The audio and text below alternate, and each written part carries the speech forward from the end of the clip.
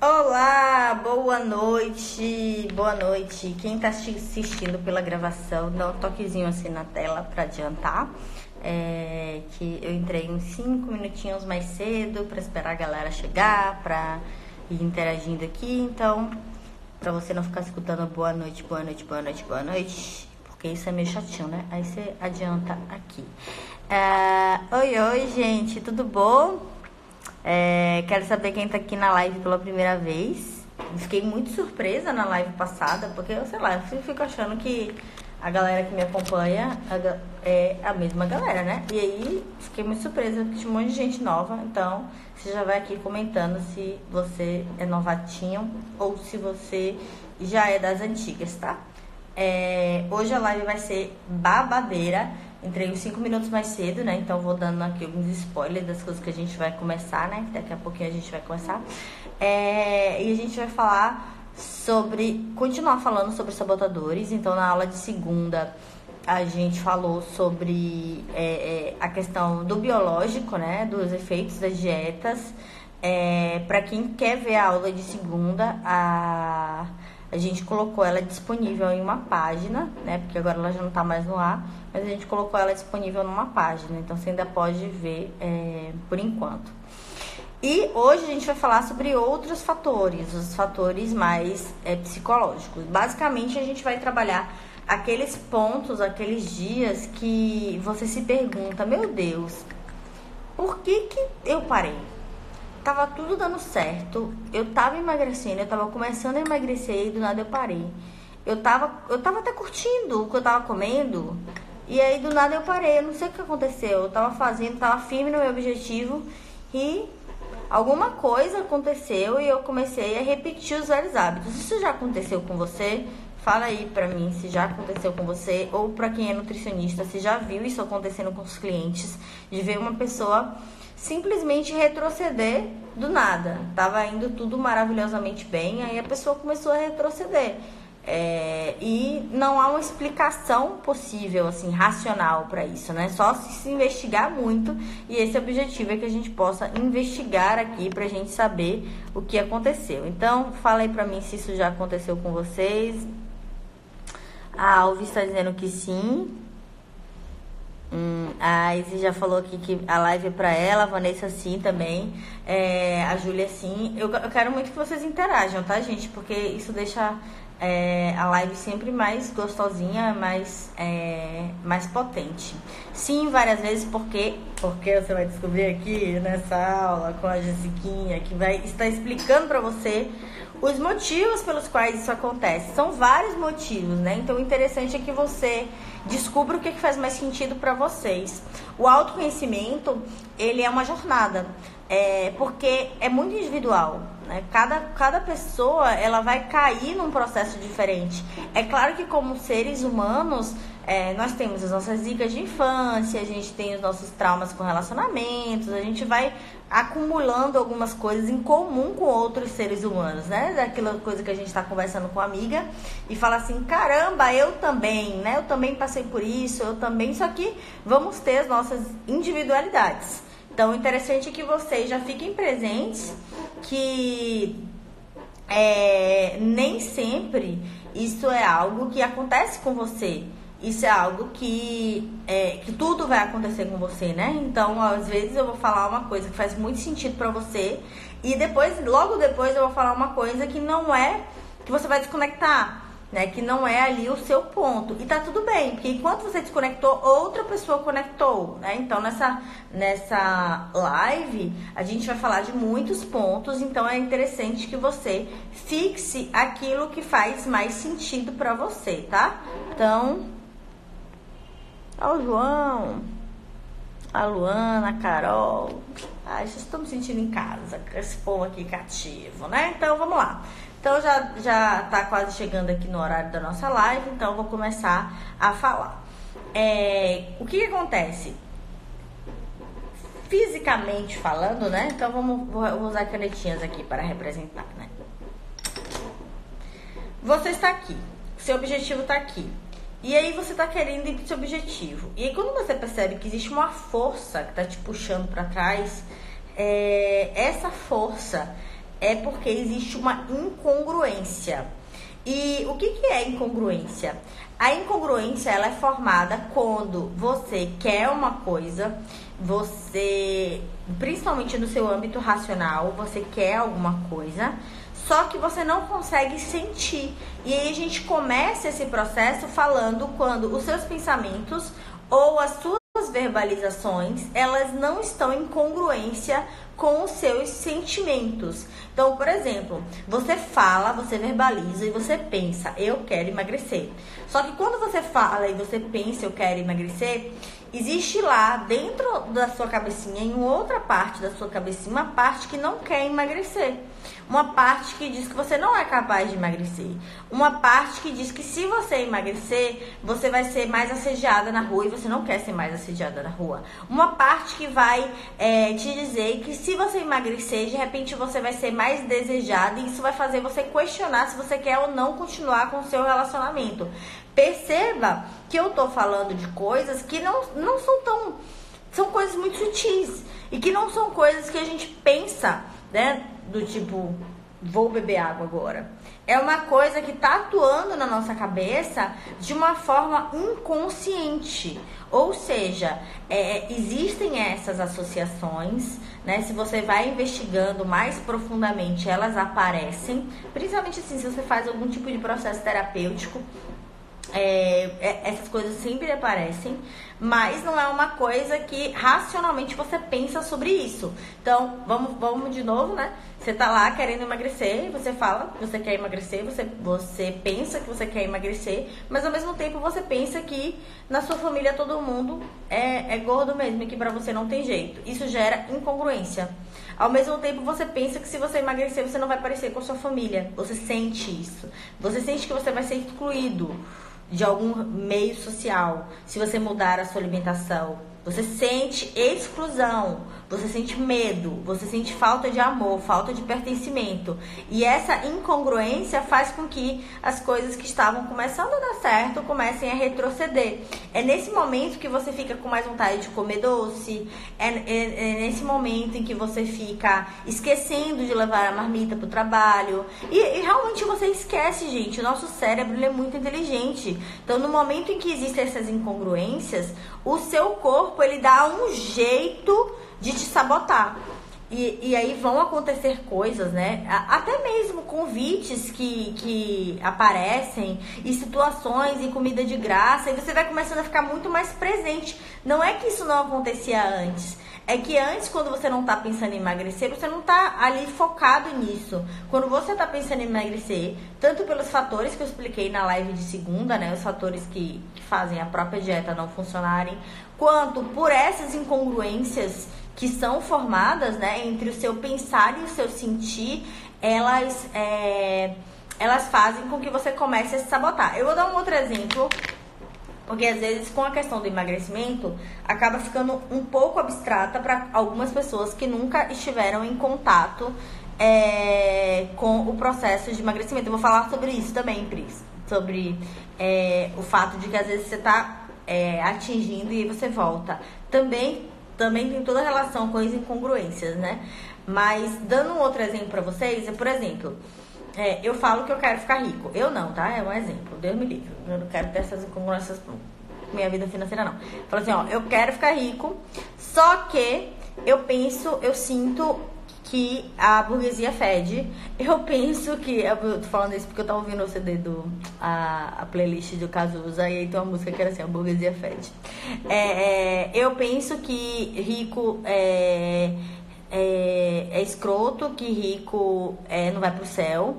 Eu penso que, que quando as pessoas têm dinheiro, elas atraem pessoas é, invejosas, elas atraem pessoas interesseiras eu penso que quem, quem tem dinheiro não é uma pessoa boa.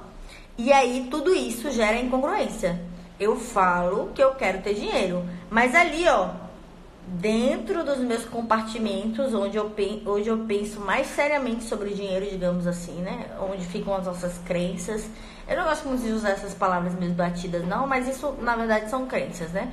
Onde ficam ali as nossas crenças estão gerando um sentimento incompatível, porque você quer ficar rico, mas você pensa que quem é rico não é bom. E você quer ser uma pessoa boa. E você pensa que quem é rico atrai gente interesseira. E você não quer atrair gente interesseira. Então o que que você faz? você começa a se seduzir por mais blusinhas no shopping, você começa a sabotar o seu trabalho, tá indo tudo bem, você começa a ficar com preguiça de trabalhar, tá indo tudo bem, você esquece dos clientes, tá indo tudo bem, e aí vai a mesma coisa do emagrecimento. Nossa senhora, eu não sei o que está acontecendo, eu quero tanto isso, eu sei dos meus objetivos, eu sei porque que eu tenho isso, eu sei o que, que eu vou ganhar, mas eu paro, e você para por conta das incongruências. Então, a partir do momento em que existe essas incongruências entre o pensar e o sentir, e o sentir, ele é motivado pelo seu inconsciente, que é onde ficam armazenadas as suas crenças. É, e geralmente as suas crenças elas são desenvolvidas na primeira infância. É, na, logo assim, na, na, nossa primeira, nos nossos primeiros sete anos, o nosso, o nosso cérebro ele está um pouco aberto para isso, né? É, o, que, que, o que eu quero dizer com isso? A criança ela é facilmente influenciável pelo que ela escuta até os primeiros sete anos, para ela tomar aquilo como um padrão. Então, é, as coisas que você vê a sua mãe, o seu pai, até os sete anos falando sobre dinheiro, sobre corpo, sobre alimentação, são coisas que ficam gravadas no seu inconsciente, que geram essas crenças, que vão gerar essas incongruências. Vocês estão entendendo? É porque esse assunto é um pouco é um pouco diferente do que eu falo aqui, né? Geralmente eu abordo mais a questão das dietas. Então, se tiver alguma dúvida, se tiver não estiver entendendo alguma coisa, ou se estiver fazendo muito sentido, vocês falem, por que vocês ficam mudos? Eu fico achando que se ninguém tá entendendo nada, né? Então, vocês vão falando aí, por favor. É, é, é esse padrão dessa incongruência entre o que eu penso, o que eu penso consciente e o que eu penso inconsciente, que me faz o meu sentir, faz com que eu tenha atitudes ligadas ó, ao que está mais antigo, a, o seu inconsciente, né? Eu tô pegando aqui na nuca, o inconsciente não tá na nuca não, mas é só para você perceber que tá mais escondido. Eu e minhas loucuras, né? É, e isso faz com que você comece a retroceder. E aí é quando, nossa, eu comecei a emagrecer. E aí eu parei. Por que, que você parou? Porque possivelmente você tem crenças relacionadas a o emagrecimento não é bom pessoas emagrecidas, pessoas magras, elas não são inteligentes, né? E pessoas magras, elas não fazem nada na vida. Pessoas magras é, são fúteis, né? Pessoas que cuidam do corpo são fúteis, não são não leem, né? Eu me lembro que eu, eu há, uns anos atrás e tal, eu nem fazia academia na época, assim, faz muitos anos mesmo. É, eu ouvi alguém falando assim, ah, as pessoas que fazem academia não abrem livros. Eu não lembro quem foi que falou isso pra mim, mas ficou marcado, né? Porque eu fiquei pensando assim, nossa, mas será mesmo que as pessoas não leem? Porque eu não fazia academia na época, né? E eu era a pessoa que, que lia. E eu me lembro que isso me gerou uma certa resistência a entrar na academia, né? Não lembro, mas é, depois parando para pensar, eu vejo que isso pode ter influenciado a minha entrada na academia mais tardia, né? Porque eu era uma pessoa que, eu, aliás, eu sempre me orgulhei de gostar de ler. É, e aí essas crenças faz com que você é, evolua. Eu tive uma cliente uma vez que falou o seguinte, que a mãe dela falava que as meninas da educação física eram raparigas. É, isso, assim, ela era pequena, né? Infância. Infância ali, pré-adolescência e tal, eram raparigas. É, e ela não, ela tinha que ser a menina que estudava. Ela não devia fazer atividade física, porque ela não era rapariga. É, e isso fazia com que ela não conseguisse fazer atividade física. Isso fazia com que ela se sabotasse. Porque quando ela começava a emagrecer, o que, que vinha na cabeça dela? Quem que ela seria se ela fosse a pessoa que fizesse atividade física e é, cuidasse da alimentação? Ela seria rapariga. Ela não queria ser rapariga, então ela queria ser a pessoa que estuda, então naturalmente ela rejeitava aquilo, mesmo que ela já estivesse acima do peso, mesmo que ela tivesse com a, a, autoestima baixa, mesmo que ela tivesse com problemas de saúde, ela rejeitava aquilo ali. É, a Daiane falou uma coisa muito importante. Não sei qual é a minha crença que faz com que eu não consiga emagrecer. Daiane, sabe qual que é o grande problema das crenças? É que precisa ser feito um trabalho profundo. É, porque a crença é uma coisa que pra gente é verdade. É, ela é uma verdade universal. É, mesmo que ela não faça sentido algum. Então, quando você pensa assim, nossa, é, Não faz, Jéssica, não faz sentido nenhum esse negócio que você está dizendo. Que quem faz atividade física é fútil. Não faz sentido para você, porque essa não é a sua crença. Mas quando é a sua crença, você está assistindo e você fala assim, não, mas é verdade mesmo. É verdade mesmo. Se, se eu chegar e tiver a felicidade de falar uma crença aqui que for a sua, você vai falar, é verdade mesmo isso. Ou para a maioria das pessoas é assim. Você, você pode até aceitar que não é todo mundo, mas você vai ter uma tendência a acreditar que é, isso é mais verdade do que mentira. É, e isso é a crença. É difícil realmente a gente identificar porque a gente tem os, os, os eventos confirmatórios. E o que, que são isso? Eventos confirmatórios são eventos em que a pessoa se coloca em posição de eu, de, eu vou procurar, eu vou atrair, eu vou escolher ali aquela pessoa que vai confirmar a crença. Eu vou dar um outro exemplo agora. Por exemplo, é, você acredita que nenhum homem presta. É, você acredita que nenhum homem presta, você acredita que é, não existem exceções, que todos os homens são escrotos e tal, que todo homem é machista. E aí o que, que isso faz? Isso faz com que você escolha esses homens que não prestam. Porque a sua necessidade de confirmar que homem realmente não presta faz você escolher os que não prestam. Enquanto você não ressignificar isso e a crença, ela precisa passar por um processo de clareza, ressignificação. Você continuará encontrando homens que não prestam. E aí você confirma tanto a ponto de que quando alguém fala assim, não, mas é, esse negócio que você está falando aí que, que, que todo homem não presta é crença. Tem muito homem que presta. Você vai falar, não, não é.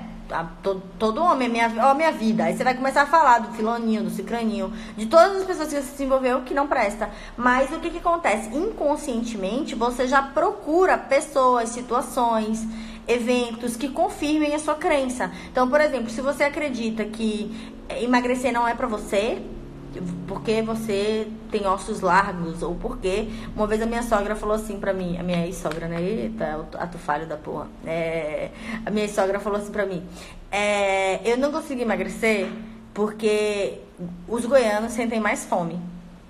Aí ela falou isso, né? Que os goianos sentem mais fome. Então, na cabeça dela, os goianos sentem mais fome. Então, ela sempre, por mais que ela tente, ela nem é muito de tentar não, mas só para dar um exemplo de uma crença dela, né, que goiano sente mais fome que o normal. É, ela vai ali sempre está justificando que ela sente mais fome do que o normal. E aí ela vai começar a fazer os processos e ela vai dizer, ó, tá vendo aí? Tô com mais fome agora. Então, ela vai confirmar aquilo. Por quê, gente? Porque a congruência, o ser humano está buscando a congruência.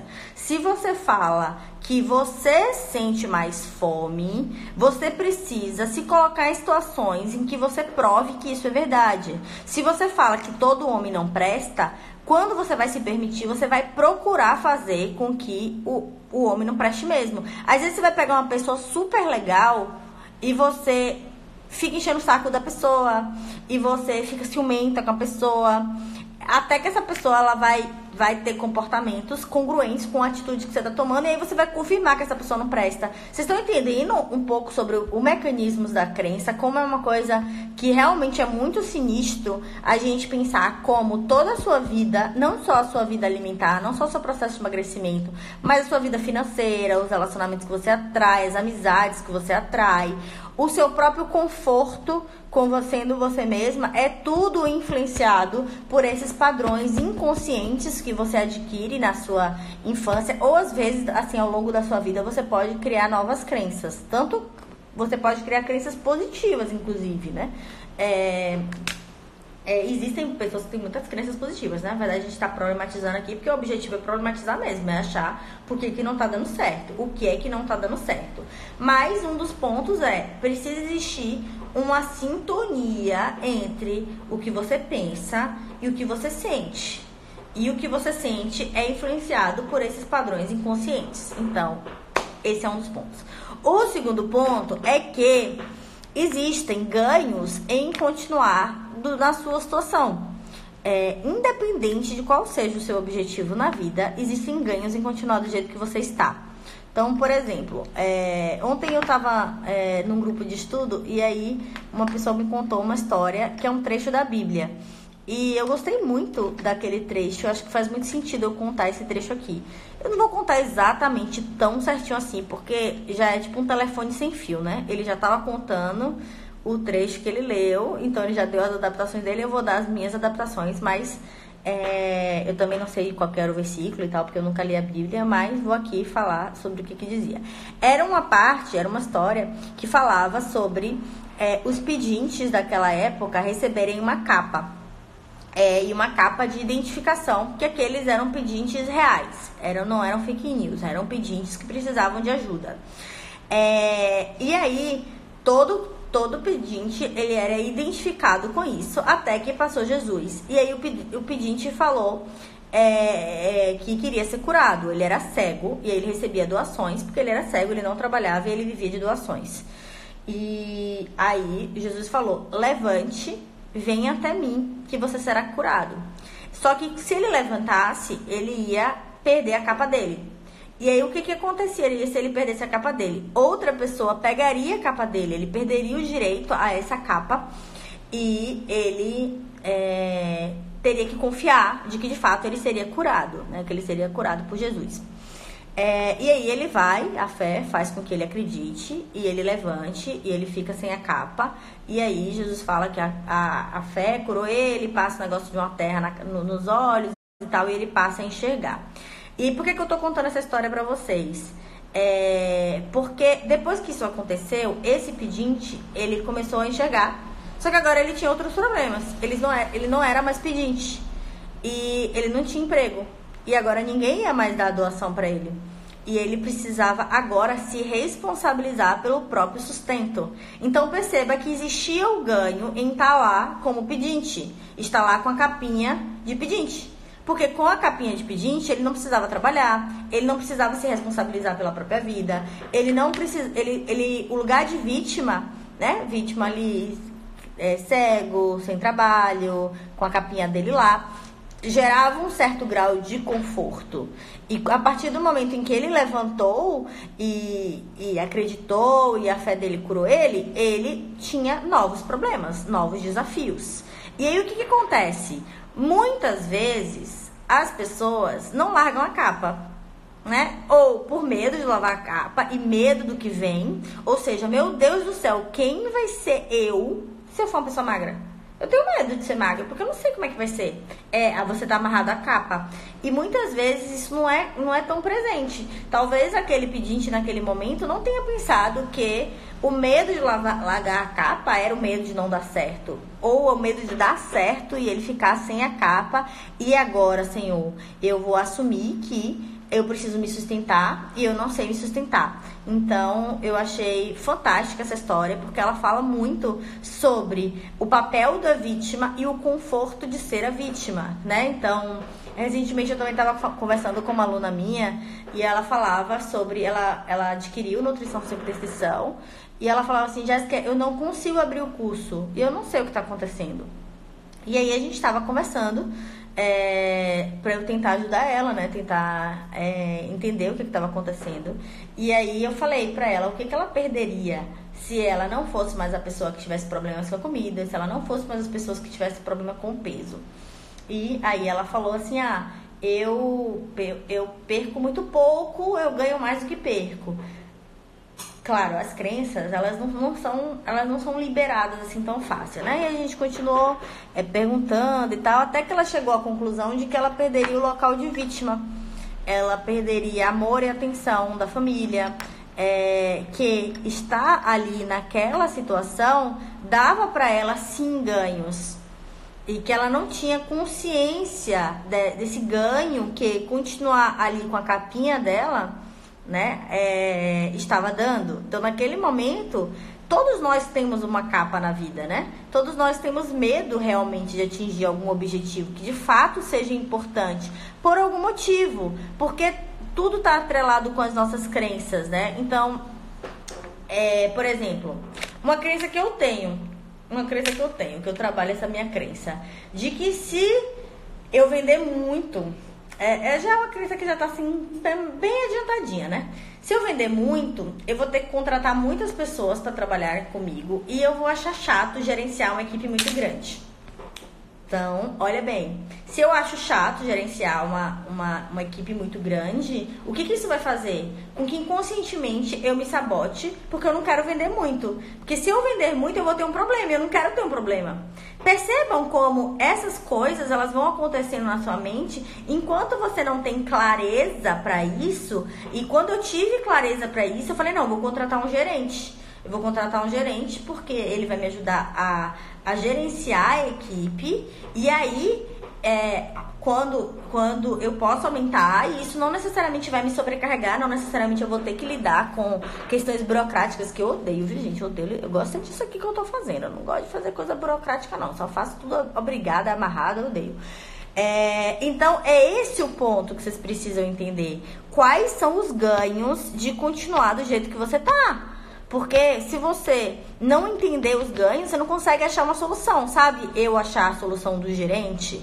Se eu não tivesse clareza de que eu tinha medo de vender muito e de ficar estressada, eu não conseguiria encontrar uma solução para isso. Então é assim que a gente trabalha a crença. Primeiro, a gente dá luz para ela.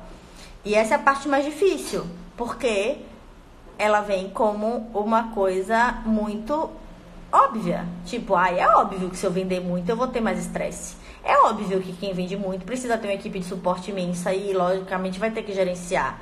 Eram esses os meus pensamentos, que era óbvio. Era óbvio isso. Tipo, como assim? Como assim isso é uma crença? É óbvio que isso é verdade. E eu me lembro que eu tive essa conversa com o meu mentor, né? Que eu falava isso pra ele, ele fal... e ele falou, né, que era crença. Eu falava, não, não é crença, é óbvio isso, né? É óbvio. Porque quando, quando é uma crença, a gente não quer desapegar dela. Porque ela é parte daquilo que a gente acredita. E às vezes a crença é parte de quem você é. Isso é muito mais complicado quando a gente tem crenças de identidade, né? Eu vou falar sobre isso mais nos Sabotadores Invisíveis no programa, para quem, quem já tem ou para quem tem interesse em adquirir, eu vou aprofundar mais nesse assunto.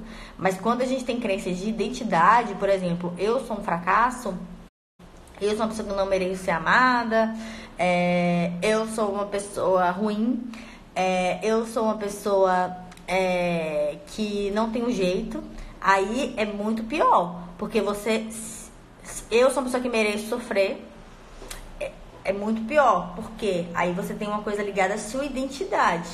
E muitas vezes as pessoas, elas não sabem nem quem elas seriam se elas não tivesse aquele sofrimento, se elas não tivessem essa crença. Então é mais difícil ainda de você identificar. É, então, o mais interessante é que você reflita. É, o autoconhecimento é um processo difícil, com certeza, Pri. É um processo difícil, mas é um processo libertador. Porque a partir do momento que você tem clareza, você consegue não entrar nesses processos de autossabotagem. É, a coisa que eu tenho mais angústia na minha vida é quando eu não sei o que está acontecendo na minha vida. Do tipo, eu tô tendo comportamentos que eu não sei explicar. Eu tô desmotivada sem motivo. Geralmente tem motivo. É que esse motivo está inconsciente. E aí eu fico, fico, fico e levo para terapia e vou investigando e vou me observando até que essas crenças, esses padrões, né, muitas vezes coisas relacionadas com meu pai, com minha mãe, com trauma, aparece e aí eu consigo trabalhar. Então esse esse é o ponto chave.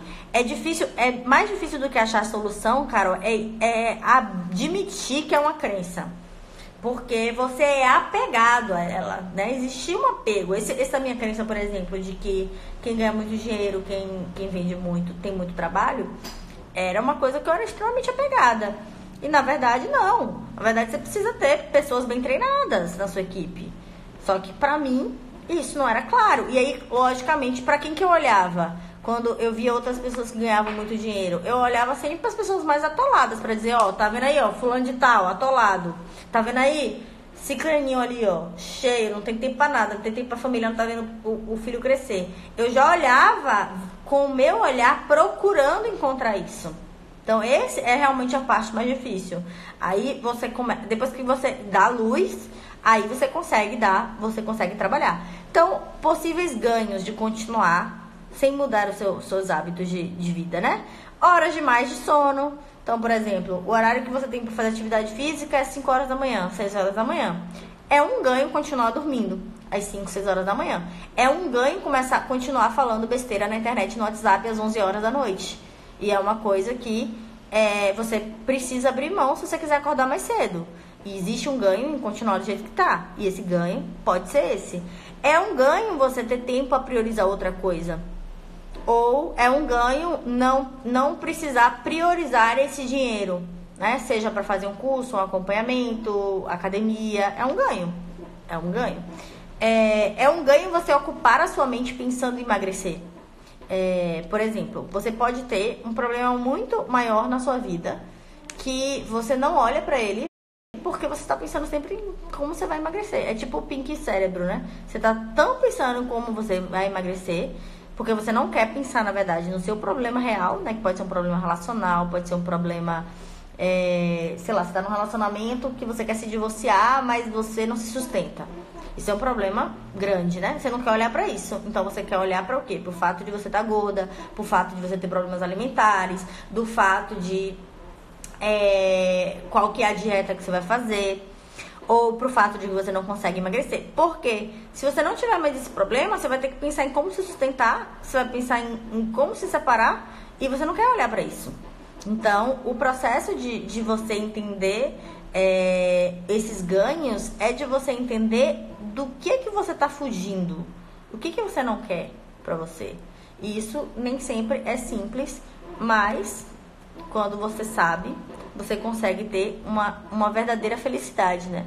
Porque se você, por exemplo, está num casamento infeliz porque você não se sustenta, olhar para isso vai te dar condições de procurar meios de se sustentar, de terminar um casamento infeliz e de emagrecer. E esse é o verdadeiro problema da sua vida. E isso está sendo camuflado pelo seu processo de emagrecimento que não vai para lugar nenhum. É porque você está tendo um ganho de não pensar nos seus verdadeiros problemas. Pensou que profundo isso aí? Profundo, né? É... E tem as, tem as perdas de você atingir o seu objetivo, que também tem muito a ver com as suas crenças. Por exemplo, nossa, se eu emagrecer, eu sou uma pessoa que eu vou ter que dizer não para todos os eventos sociais. Eu vou ter que parar de beber. Eu vou ter que. Eu vou virar chata. Eu vou virar chata que faz alimentação saudável. É, eu, vou, eu vou sofrer piada dos meus amigos. Né? Então, tudo isso vai fazendo com que exista a incongruência. Eu ainda estou falando de congruência, né? Só que quando a gente fala de perdas e ganhos, não necessariamente é relacionados a crenças, às vezes é relacionados às suas próprias áreas da vida que estão desequilibradas. É, mas às vezes tem as crenças também. Porque, gente, de verdade, tá, tá tudo muito interligado, né? Quando você começa a estudar isso, você começa a perceber que tudo faz muito sentido e que tudo é realmente muito influenciado. E aí você chega para o ponto de pensar assim, quem eu seria se eu tivesse, se eu não tivesse essas amarras, né? Quem eu seria? Possivelmente seria uma pessoa livre. Possivelmente seria uma pessoa muito mais feliz e muito mais saudável, mental e fisicamente. É, uma outra coisa interessante também é, é, falar, é pensar sobre as suas motivações. As suas motivações podem, é, podem fazer com que você é, faça esse, esse, esse processo de incoerência. Por exemplo, você está querendo emagrecer porque você quer agradar alguém. Então, essa sua motivação, ela não é sua. E você não está vendo que a pessoa ela está valorizando o seu processo de emagrecimento. Que, que acontece aí nesse momento? Incoerência. Então, todas as vezes que a sua motivação ela não tiver coerente com, com o que você está sentindo, e aí tem o sentir e tem o. o a, a. Peraí, calma, me perdi. Fui ler os comentários me perdi. Toda vez que a sua motivação ela não tiver coerente com a sua essência e com o seu sentir, isso vai gerar incongruência e você vai começar nos processos de autossabotagem. Então, vários, né? Se você vai se motivar para arrumar um namorado, ou para o seu marido te amar mais, ou para você ser mais desejada, ou para você provar para alguém que você consegue. E aí no fundo, essa motivação ela não tá alinhada com a sua essência e com o seu sentir, você vai gerar o próprio processo de de autossabotagem. Parece que é mais difícil identificar a crença do que resolvê-la. Exatamente por isso que você precisa fazer tratamento, More, porque é a parte mais difícil mesmo. E é muito difícil sozinha. É possível? É. Eu já identifiquei várias crenças minhas através de leitura, através de autoobservação. Mas eu também não posso dizer que no meu caso não é mais fácil, porque é, né? Porque eu estudo isso. Então eu estou muito presente porque eu estou sempre em contato com isso. Eu estou sempre lendo sobre necessidades da infância, sobre padrões de comportamento. Então é fácil quando eu, quando eu estou alinhada e me observando perceber isso. Agora, para uma pessoa normal, sem tratamento, é praticamente impossível. Ela vai ser sempre guiada pelo, pelo inconsciente. E aí, quais são os meios que eu recomendo, né? Recomendo terapia é, para isso. É, principalmente uma terapia que de fato esteja alinhada com, com esse conteúdo que eu tô dando, né? Porque é, enfim. É, o, o, próprio curso Sabotadores Invisíveis ele vai tratar sobre isso, né? Então vão ter atividades, vão ter exercícios, vão ter aulas comigo para que você possa estar trabalhando isso é, e os processos individuais, né? Processos individuais para estar tá trabalhando comigo mesmo sobre como identificar o que está acontecendo com você. Porque a gente, de verdade, cada cabeça, cada mundo, assim, não, não tem padrão. É tudo é, muito particular da sua história. A Carol tá falando aqui de uma crença dela, ó. Perceba, eu, eu tive a crença de que se eu emagrecesse e me tornasse mais atraente, eu ia ser mais assediada e não conseguiria ser fiel. Olha bem, ela não queria ser a pessoa infiel.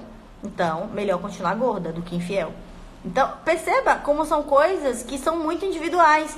E possivelmente não era tão claro para Carol isso. Nossa, eu não consegui emagrecer porque eu tenho medo da minha fidelidade. Não. Era uma coisa que estava ali é, inconsciente, como um medo que ela não sabia explicar e que ela também não sabia por que, que ela parava no meio do caminho. Então, essas relações, elas vão aparecendo quando você olha para ela, quando você ilumina para ela, quando você é, é, pensa na, no, na sua história, né? no autoconhecimento que você precisa ter em relação à sua história. Porque de verdade, pessoal, se vocês não se conhecem, é muito difícil que vocês consigam é, evoluir com paz. Por que, que eu, que, eu, falo assim, evoluir com paz? Porque às vezes você evolui na raça, né? É, sei lá, você quer mudar sua vida financeira e aí você vai lá e faz as coisas na paz, assim, sem paz, mas você vai lá e faz. Mas não é uma coisa leve, é uma coisa que é um esforço muito grande. Às vezes você vai lá e você emagrece, você emagrece em paz é tipo um sofrimento, porque você simplesmente não consegue desapegar daquilo que está te segurando e daquilo que está fazendo o tempo inteiro você ter vontades extras, você é querer retroceder, você querer voltar atrás, você ir para outro, outros caminhos, né? Então é muito importante que vocês entendam que vocês se libertando dessas amarras, é, o processo vai andar vai ser muito mais fácil. É claro, se você não estiver fazendo besteira, né? Porque às vezes não adianta você estar tá trabalhando as crenças e, por exemplo, você está fazendo dieta e aí é, é, tudo muito incoerente porque o seu biológico vai ficar ameaçado. E quando o seu biológico está ameaçado, você forma novas crenças. Porque você está mais preocupado em sobreviver do que em melhorar a sua qualidade de vida. Assim, o, o seu cérebro, né? Ah,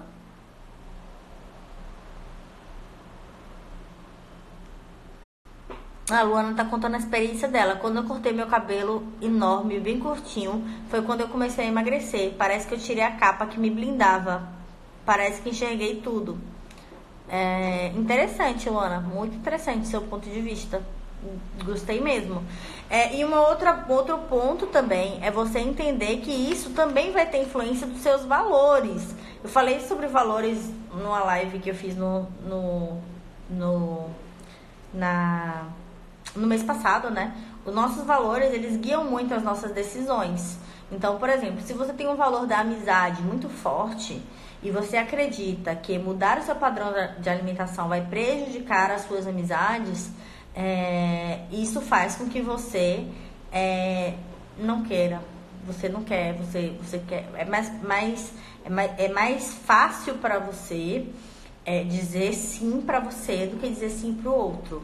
Isso porque o seu valor da amizade às vezes é muito forte, ou ainda porque você não sabe dizer não, ou ainda porque você diz sim porque você quer ser amado. Então, são outros babados aí que vão se correlacionar com os valores, com a personalidade, com a maneira como você vê e se sente amada a maneira como você criou as suas relações, relações de dependência, e tudo isso vai ser descarregado na comida e tudo isso vai atrapalhar o seu processo de emagrecimento. Então, gente, era isso que eu queria comentar com vocês. Se vocês tiverem dúvidas, vocês coloquem aí para eu responder as dúvidas. Mas eu quero trazer aqui para vocês que a partir do momento em que isso não, é, não chega à luz, que você não percebe que isso está acontecendo na sua vida, você vai sempre repetir padrões. Sempre. É como se você virasse um robozinho no piloto automático e você vai sempre repetir esses resultados que às vezes você não aguenta mais. Que você quer, quer construir uma nova história, mas parece que tem sempre uma força de puxando e. Tem mesmo tem mesmo uma força te puxando. E o meu objetivo é mostrar para vocês que existe como trabalhar isso, né? Então, sexta-feira agora vai ser lançado os Sabotadores Invisíveis. Então, se você tiver interesse, é... entra no grupo do WhatsApp. No grupo do WhatsApp, a gente vai fazer uma oferta especial para quem estiver dentro do grupo. Eu vou colocar nos stories, mas você também pode acessar no link que está na minha bio e entrar no grupo no WhatsApp, tá? É, e é isso, sexta-feira a gente vai ter desconto, bônus, toda uma oferta especial de lançamento. Não vai ter economia de, de ofertas, de bônus, de, enfim, vai ser muito bacana. E é, é, um, é uma luz para que você ilumine essas suas sombras, as suas crenças e consiga realmente ter resultados diferentes. Se você não está satisfeita com o resultado que você tenha, que você está tendo, que você está colhendo, com seus padrões, com seus ciclos, saiba que não é repetindo o que você está fazendo que você vai mudar. É justamente aprendendo uma coisa que você não sabe. É justamente entendendo quais são as suas crenças que estão, que, quais são as ervas daninhas que estão ali na sua mente, atrapalhando o seu processo. E quando você sabe disso, fica mais fácil emagrecer, fica mais fácil viver, fica mais fácil ter paz, fica mais fácil ter qualidade de vida. Então, é isso, gente. Esse era o meu recadinho de hoje. Espero que vocês tenham gostado. Manda aí mensagem pra mim, dizendo se gostou. Vou querer ler aí os directs de vocês. Um beijo e amanhã tem live de novo, viu? Tchau, tchau.